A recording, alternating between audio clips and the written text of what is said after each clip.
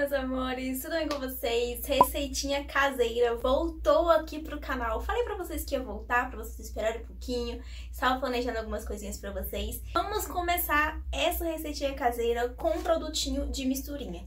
Nesse quadro Receitinha Caseira, toda sexta-feira a gente vai usar uma máscara bem baratinha pra fazer a misturinha. As máscaras que eu tenho bastante aqui, que são baratinhas, são da Scala e dá super certo com o meu cabelo. Então, começar o vídeo de hoje é como a gente diminui aquele aspecto poroso, seco das pontas dos nossos cabelos. O pré-pull, que é um método que a gente conheceu aí, que prepara o cabelo para o shampoo, prepara para a agressão que o shampoo vai fazer no seu cabelo. Essencial para a gente diminuir frizz, diminuir pontinhas, aquelas pontinhas que ficam secas, porosas e feias, né?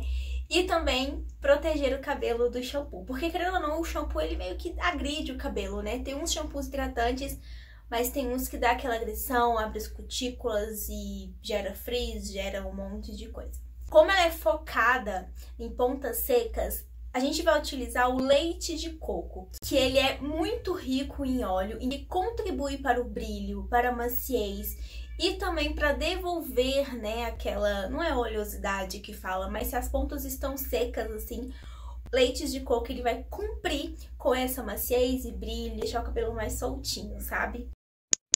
O óleo de cenoura também, que é chave nessa receitinha caseira, tem vitamina A, vitamina E, e ele vai proteger o seu cabelo, também fortalecer os fios. E para fechar com chave de ouro, a glicerina, gente, a glicerina, quase que eu falei errado, ela vai diminuir o frizz do seu cabelo, que a maioria das vezes pode ir para as pontas, né? Às vezes não fica tão concentrado aqui em cima, as pontas ficam meio que em choque. Então a glicerina vai fazer esse papel e também devolver o brilho do seu cabelo, combater as pontas duplas. Vou pegar esse mais liso da escala, eu coloco 3 colheres, tá? Que é o que dá pro meu cabelo. Tô usando colher de metal mesmo. e uma tampinha de glicerina, tá, gente? Uma tampinha já é o suficiente. E 5 gotinhas de óleo de cenoura. Me... Ah, uma colherzinha de leite de coco. Mexe, mexe, mexe, mexe. E com cabelo seco antes de lavar, gente, tá? Relaxem passa ele enluvando por todos os fios, como vocês estão vendo aí. Bonzuta mesmo o cabelo, tá? Sem dó. Lembrando que quanto mais tempo você deixar no seu cabelo, melhor o resultado. Então eu fiquei uma hora, passei ali, fiquei uma hora bonitinho. Depois fui meu cabelo com esse shampoo da Ciage, acelera o crescimento, perfeito.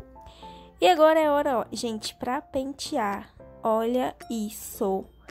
Ele fica muito macio. Vocês não estão entendendo, ele fica muito macio.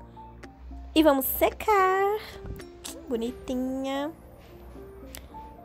E seco, só com o secador ele já ficou assim. Com esse brilho super soltinho, macio. A sensação é que desmaia o cabelo. E olha esse resultado! Gente, perfeito. O cabelo, nossa, vocês podiam tocar, sério. Fica muito macio. Faz aí para vocês sentirem o que eu tô sentindo. O cabelo fica desmaiado. Olha esse brilho, super soltinho, mas ai, algodão, sério. Muito maravilhoso. Mais pertinho para vocês verem o balanço e o brilho também, né?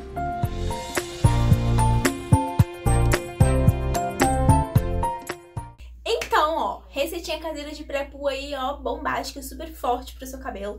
Eu passei, ó, inclusive hoje, né, que eu gravei pra vocês hoje esse vídeo. E olha esse brilho, gente. Ó, o meu cabelo e as pontinhas estão aqui, ó. Uh! Então foi isso, né? Espero muito que vocês tenham gostado. Toda sexta-feira vai ter receitinha caseira aqui pra vocês. E... pra gente recuperar aí os fios. E o melhor, com tudo que você tem em casa, com sem gastar muito dinheiro, que é o melhor aí do canal, né? Que a gente traz isso pra vocês. Então é isso. Se você gostou, deixe meu like, se inscreva aqui no canal e me segue no Instagram. Um beijo e até o próximo. Tchau!